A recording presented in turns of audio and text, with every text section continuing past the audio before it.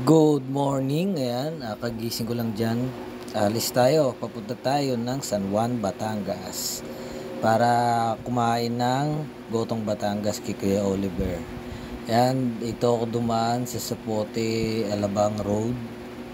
Yan, kung makikita nyo, nasa bandang Pamplona ako niyan.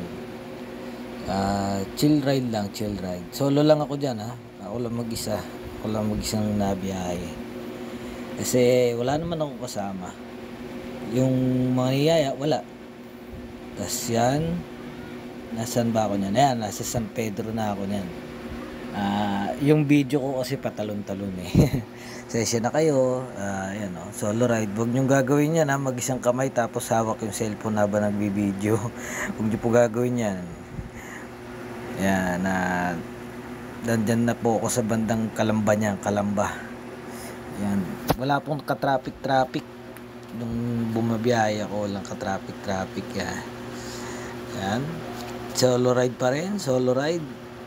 Kalamba pa rin niya, Kalamba. Kalamba. Solo ride pa rin. Yan. Walang ka-traffic-traffic. Ah, umalis ako niyan, ano eh, ah, 3.30. 3.30 ng madaling araw. Kasi, iniiwasan ko yung sobrang init. Sobrang init sa biyahe. Yan, ah, nandyan na ako sa may bandang ano yan. Kalamba pa rin. Nagutom ako, yan oh. Kumain muna ako ng pandesal. Actually, hindi ko na video yung spaghetti. May spaghetti yan eh. Yan. Inumaga na ako. Guys, oh. Putok na araw niyan. Nasa bandang ano na ako niyan. San Pablo. San Benito. May nakita akong arko San Benito eh. Ayan, binidyohan ko habang dahan-dahan. Dinaan ako ni ano ni Google Maps sa Chaong, Quezon. Ang ganda ng view. Ganda. Morning. Sunshine. Yan, no, binibidyohan ko dyan yung dinaanan ko. Kasi nagagandaan ako. Ang ganda talaga sa probinsya, no. Daming puno. Alam mo ba yung simoy ng hangin dyan? Fresh na fresh. Grabe. Wala kang maamoy na usok. Wala kang maririnig na malalakas na busina na sasakyan. Ganda dyan. Ayun o, yung daanan na yan sa ano yan eh, Chaong Bypass Road. Kasi yung papuntang San Juan, yung tulay, ano eh, putol. Putol yung, kaya dito ako dinaan ni Waze. Ayan na, malapit na ako dyan guys. Malapit na ako sa San Juan, Batangas. Ayan, minadaanan pa akong tulay yun. Napakaganda ng view dyan. No? Napakaganda ng view. Kasi, ayan na, hindi ko tuloy nasabi. Kuya Oliver, Oliver got, ano, Gotong Batangas. Dito na ako guys. Pang number 8 yung number ko eh. Ayun, no? busok-usok yung mga kaldero. Ayun, no? Gugutom na ako dyan. Tapos nakakita ko na si Kuya Oliver, lumabas na siya. Siya mismo yung kumukuha ng mga karne para doon sa aming kakainin. Alas 7 yan eh, alas 7 na yan. Nakarating ako dyan, 6. Medyo isang oras pa ako nagantay bago lumabas kay Oliver. Ang sarap niyan, no?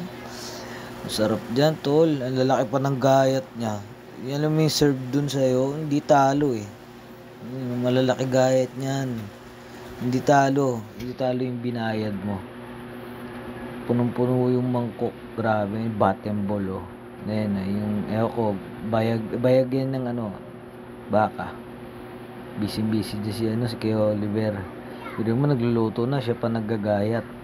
May kasama, may kasama naman siya. Ay no, sarap niyang kamo. Ewan ko ano yung part na yan. Ayan na, kain na na. Kain na na guys. Naglalaway na ako dyan eh. Kaya inanong ko yung ng kalamansi. Tapos may. Tapos patis. Ayan na guys. Oh, isang ko na kumain. Kain po tayo guys. Ayan oh. Inanong muna yung kanin. Sarap yan guys oh. Parang gusto ko ulit bumalik kaso haba ng biyahe. May 3 hours din yung biyahe ko magmula dito sa Las Piñas sa Pote. Ayun o, titikman ko pa yung sabaw. Mainit yung sabaw. Tsaka daman-daman mo yung lutuan ni Kuya Oliver kasi yung usok pumupunta sa mata mo. So, habang kumakain ka, yung subo ko dyan, gutom na gutom mo. Lalaki ng subo ko dyan. Kung makikita nyo guys, ano. Kung makikita nyo, gutom na gutom ako dyan. Tinitingnan ko yung mga nakasama ko sa table. Mababait, mga taga Sorsogon. Shoutout sa inyo pag napanood nyo to, yung mga taga Sorsogon na nakasama ko sa lamesa dyan. Apat sila. Babait nila, mababait sila. Tsaka kakausapin ka talaga nila. Tsaka meron dyan si tatay yung nag-take out. May dalang lagayan. May subo ng kanin ko. Oh. Gutom talaga. Ayan yung part na sinasabi kong masarap. Oh. Ano yata yan eh. Ah, atay. Ewan ko, atay ba yan o ano? Sarap niyan. Lasan-lasa mo yung nanunot sa dila mo yung lasa.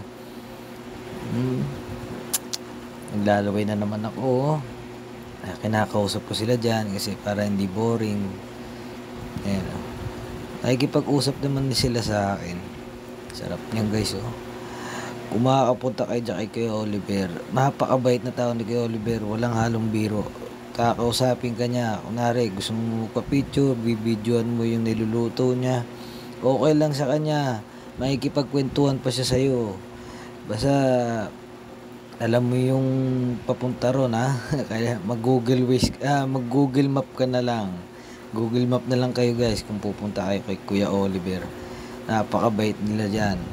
Talagang aasikasuhin ka. Pag order ka, may lalapit sa iyo kung anong order mo. Gusto ko sanang i-try dyan yung ano, yung tinatawag nilang dinosaur ribs eh. Kaso nga lang, sobrang laki. Baka di ko maubos eh. Kalahati ng likod ko eh. Yung sobrang laki ng dinosaur ribs. Kalahati ng likod ko. Baka hindi ko maubos eh. Pwede ko naman siya iba pabalot kung hindi ko maubos. Pero okay na ako dyan. Pero solve na nga ako dyan eh. Baka sa susunod na lang. ah yun ang ordering ko, yung dinosaur ribs. Yun ang makikita nyo guys. oh. Gutom na gutom ako. Bye. Peace out.